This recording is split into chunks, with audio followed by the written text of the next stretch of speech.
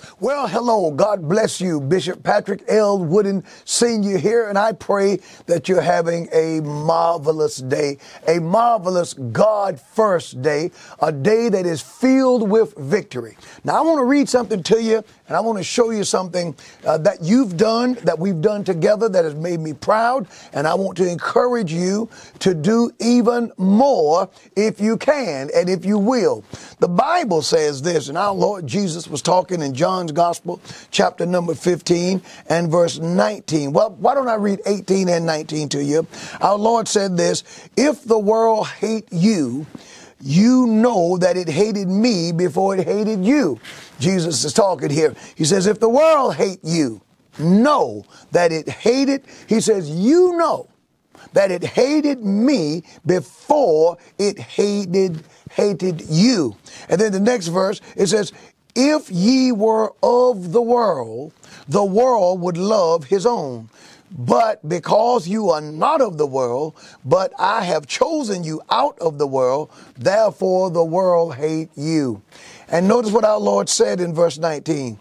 If you were of the world, the world would love, the world would love his own. The world would love his own. The world would love his own. What a powerful, powerful statement. The world loves his own. And many Christians today are being persecuted. Some are being prosecuted because uh, we're not of the world. And there's pressure on us to conform and to be just like the world. But I'm glad today that our God is a keeper.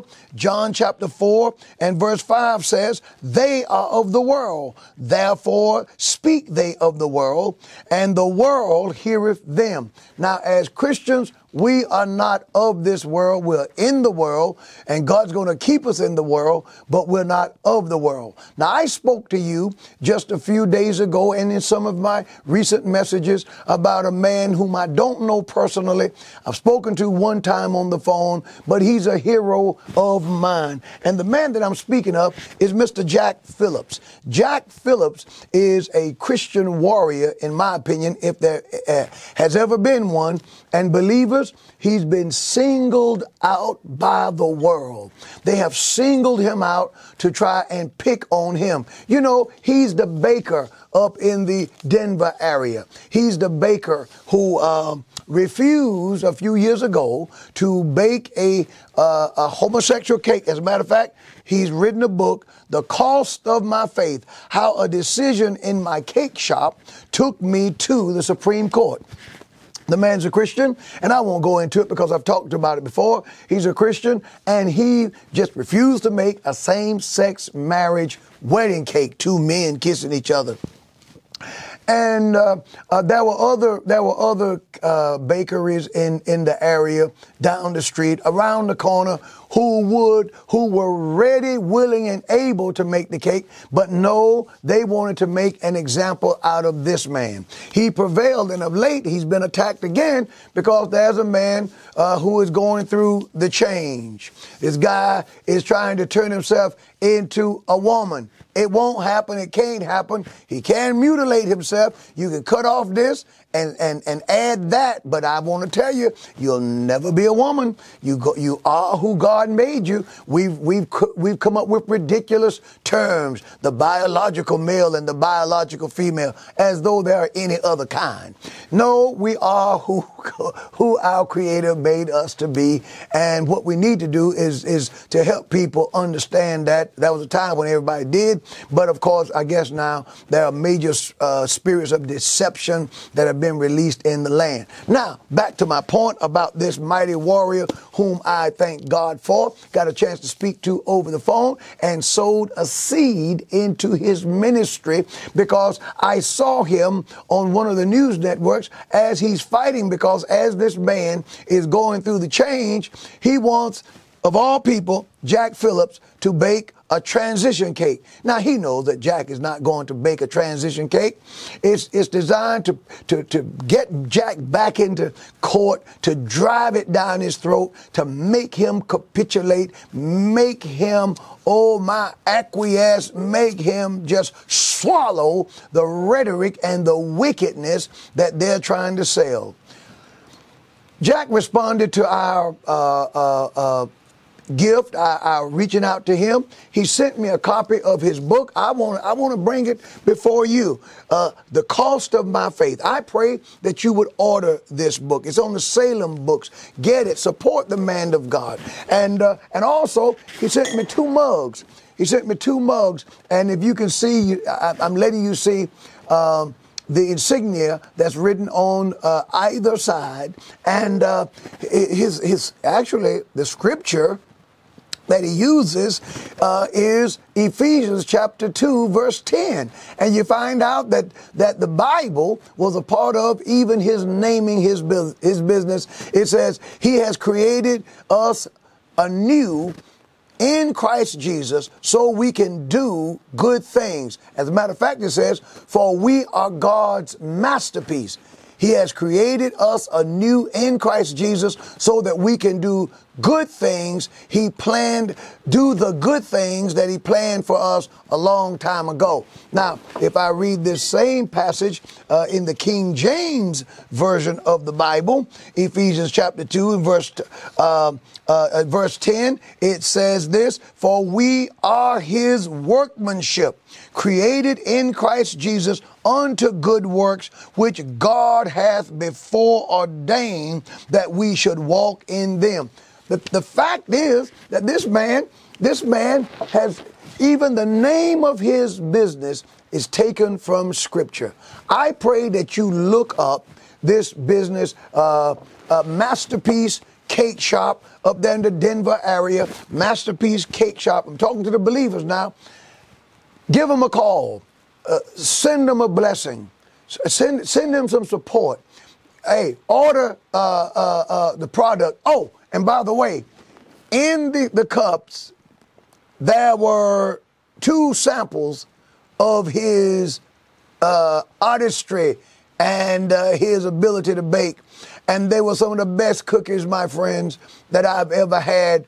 And uh, unfortunately, they're gone because once, once I took a bite of one, I couldn't put them down. And then I was here at the church, and some of the uh, adjutants and the elders and the uh, armor bearers were, were, hanging around. And I said, "Hey guys, do you want to taste these cookies?" And I'll tell you the truth, everybody, everybody loved them. So I see why Jack is so popular and why he's he's so good at what he does because his food, his his product is number one. So I'm asking the believers. Now, Mr. Phillips don't know me, and I really don't know him. We talked for a few moments, and he told me if he's ever in the Raleigh area, he would swing by to see us. And I don't think it's necessary for us to have to know each other any more than we already do, already know uh, uh, uh each other. I know this. He's a born again believer. I know this. The world has singled him out. And I refuse, I refuse uh, to be uh, like they were when Uriah was on the battlefield, placed on the battlefield, fighting against the enemy, and he didn't know that he had delivered a note, and the instructions was were for him to be left out there to fight by himself. The world knows how to fight. The world knows how to gang up on us. The world knows how to shut us down and to shut us up. Too many Christians have lost lost the ability to fight, the, lost the ability to get involved. We are, we become first class self preservationists, and so if they're not coming after us, then then we're not going to say a thing. Like they won't eventually get to us. So I pray that you would pray for Brother Phillips. I pray that you would pray for Masterpiece Cake Shop. And I pray that you'd give them a call. And I pray that you would send them an offering and, and support this great work. And do it eat whether you like you, you like bake like cakes and cookies and most people I know do but whether you like them or not that's not the point the point is are we going, going to stand idly by and allow the world to just come in and rob us of all of our rights? The world, the left, the wicked, the LGBTQ plus community, are we going to allow them to just beat us down and beat us into compliance and make us do whatever they want us to do? And all we're supposed to do is tuck our tail between our legs and just go along with it. The devil is a liar. I still believe in something that's called righteous indignation. I know that God have not given us the spirit of fear, praise the Lord, but of power and of love and of a sound mind. So I want you to get in touch with Jack, and I want you to join me tonight right here at the Upper Room Church of God in Christ. I'm fired up. I can hardly wait to teach the Word of God tonight. And I tell you what, just as last Thursday night we talked about God restoring, and the Lord moved my friends in a mighty way, and the Lord is doing just that. I there's a word from the Lord for me to share with you. all my, own tonight. I can hardly wait to teach it, and uh, I want you to join me. If you can't get here live, join me on YouTube Live, Facebook Live. Thank you for your prayers. Thank you for your support. You all are fantastic. And I thank you for all of the things, the, the cards, the letters, the, the gestures of support. A dear friend of mine from Louisiana called the other day and said, Bishop, I, I want to send an offering. And maybe there's someone in the church who needs a blessing, who needs help. I just want to send something. God placed it on my heart to be a blessing. And I want you to know that that, that we took that offering and uh, and we sold it into a life uh, into the life of a young lady who is a warrior for Jesus Christ, but she's surrounded she's surrounded by worldly folk spewing worldly hatred. And here's a young lady who's standing on a college campus, standing alone, and they're trying to to put anger, rage, hatred, racism, and all that kind of stuff in her, and she refuses to buy that rhetoric. She she believes that the God of the Bible made all people, and that God told us that we're to love everyone. And so, because she won't buy that mess and hate people due to the color of their skin, uh, she's surrounded. But we're sending her that blessing just to encourage her heart and to let her know that she's not alone. It's the kind of audience that we have. That's the kind of audience that you are. And thank you so much. Thank you for your financial gifts. Thank you for your prayers. Nothing beats prayer. Thank you for standing your ground and the words of encouragement. I've had people to tell me, Bishop Wooden, whatever you do, don't change. Keep preaching the unadulterated, unadulterated word of God.